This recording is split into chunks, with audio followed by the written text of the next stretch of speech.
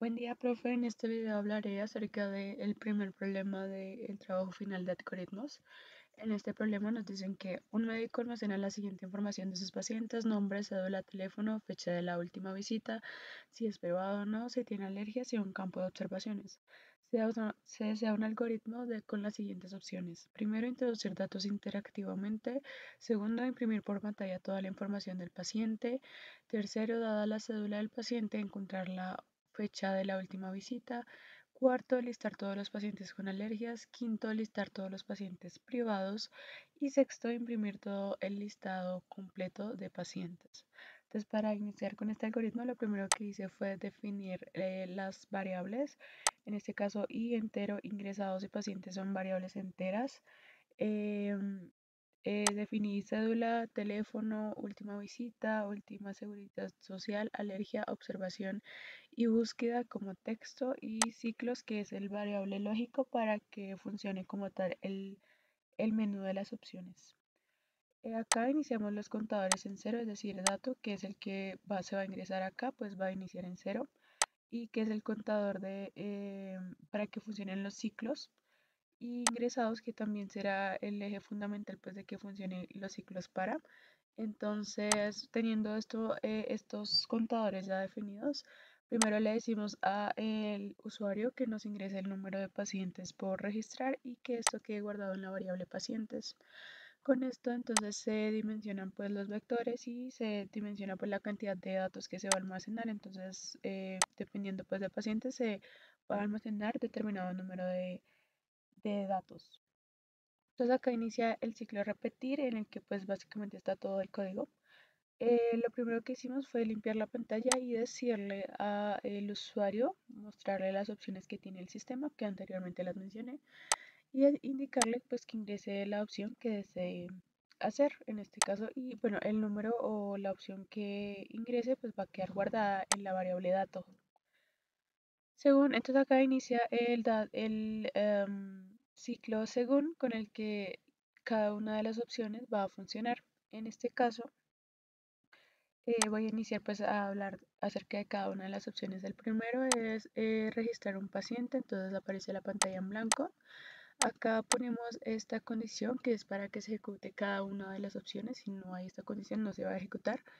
Luego, eh, bueno, le pedimos al usuario que nos ingrese pues el nombre, que guardado en la variable nombre, que ingrese la cédula y que guardado en la variable cédula, que ingrese la última visita, que guardado en la variable última visita, que ingrese el teléfono, que he guardado en la variable teléfono, que ingrese la seguridad social y que guardado en la seguridad social, que ingrese las alergias y que guardado en las alergias y finalmente lo mismo con observaciones.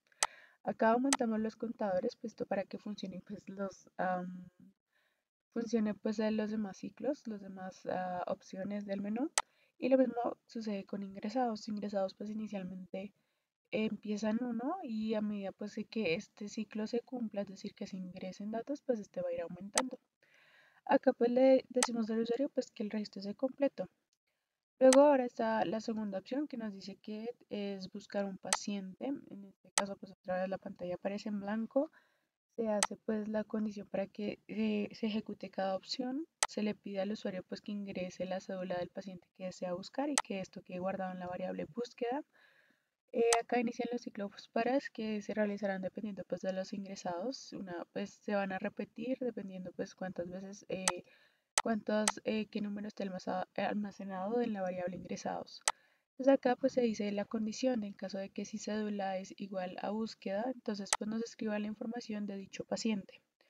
En caso, bueno acá se cierran los ciclos y en caso de que eh, no exista esta comparación, entonces pues se les escribirá al usuario pues que no hay datos encontrados.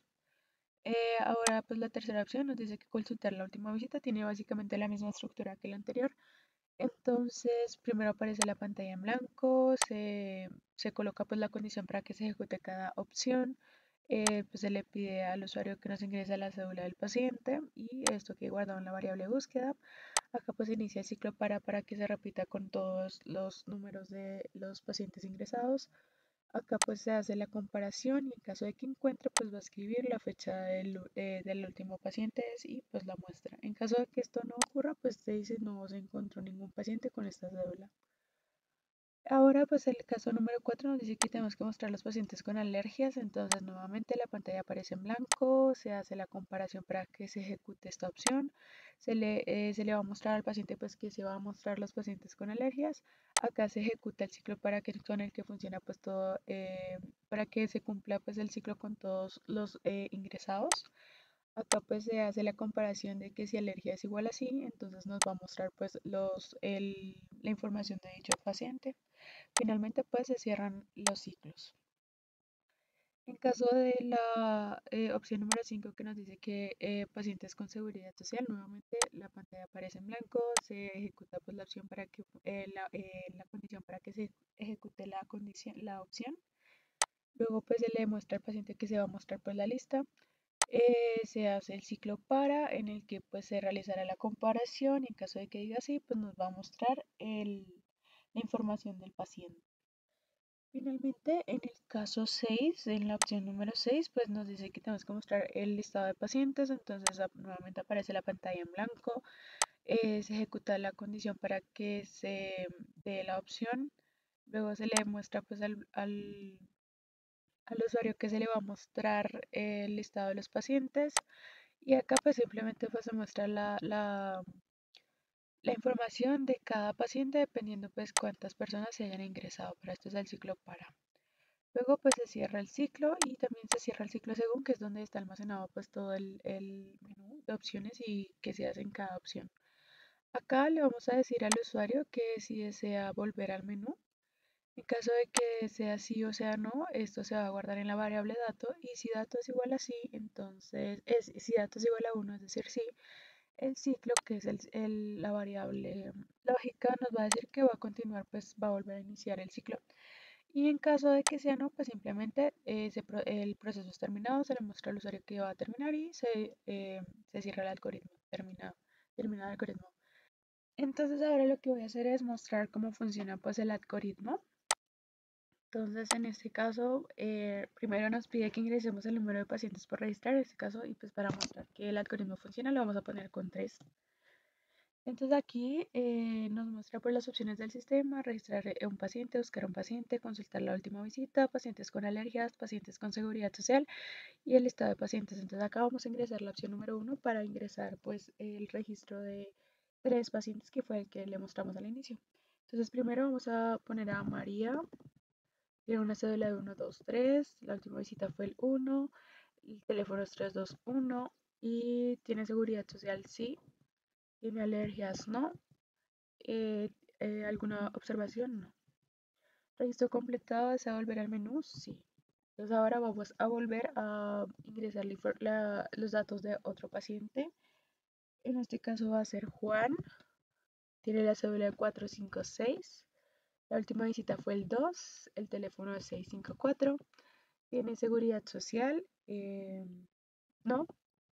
¿Tiene alguna, alergia? Sí. Y vamos a ponerle que la alergia es de polen. Eh, luego, pues nos vuelve a decir que si queremos volver al menú, en este caso sí, y vamos a volver a ingresar la información del tercer paciente, que en este caso va a ser Jorge. La cédula va a ser 789. La última visita va a ser el 3 el teléfono es 987. Eh, la seguridad social no. Alergias eh, no. ¿Alguna observación? No. Y así termina pues nuestro registro de eh, pacientes. Ahora vamos a volver al menú, vamos a ejecutar la segunda opción que nos dice buscar un paciente. Entonces vamos a colocar la cédula de María que es 123. Y aquí nos muestra pues la información de María, su cédula de teléfono, la fecha de la última visita, la seguridad social y las alergias. En este caso vamos a volver al menú, vamos a ejecutar eh, la opción 3.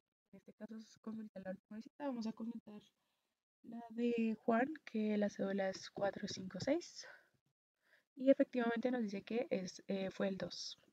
Vamos a volver al menú, nos dice que nos va a mostrar los pacientes con alergia y en este caso pues nos muestra que es Juan y nos muestra pues toda la información además pues nos, nos dice pues que Las observaciones es que Juan tiene eh, alergia al polen. Volvemos nuevamente al menú. Vamos a buscar los pacientes con seguridad social, que en este caso es María y pues nos muestra la información de, eh, de la paciente. Luego volvemos al menú nuevamente. Y finalmente le vamos a decir que nos muestre el listado de los pacientes. Entonces va a ser el 6. Y aquí podemos mostrar lo de María, la información de María, la información de Juan, la información de Jorge. Y finalmente pues nos dice si queremos volver al menú o no. Entonces ya que mostré cada una de las opciones, pues no es necesario volver al menú. Entonces le va a decir que no. Y aquí nos dice que el proceso ha terminado. Muchas gracias.